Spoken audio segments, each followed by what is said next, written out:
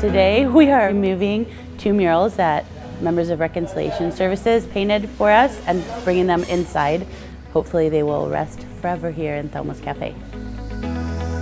The buildings that Troost Market Collective will inhabit have been neglected for about 30 plus years and we asked if we could have a little community mural project. We want to represent what community means to this neighborhood. What's really happening today is the nonprofits, and the artists and some of the new building owners are coming together to be able to bring to life a different vision of what community looks like to us. All together, we really wanted to bring something that people who walk up and down every day can take part in. That's really embodied beautifully by the Troost Transformed mural that Father Turbo Qualls did, and Lori and Stuart Bury and their beautiful mural of Thelma Altschul the namesake of Thelma's Kitchen. We were asked to create a design that was inspired by what Troost means to us.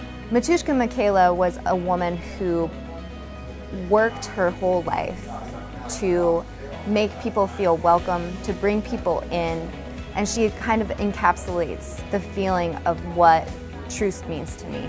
That's why we also put the different flowers that grow on Troost. They're wild, you know, they're weeds to so many people, but she found these different people that some would think are of as weeds or like as something unwanted, but she found them beautiful.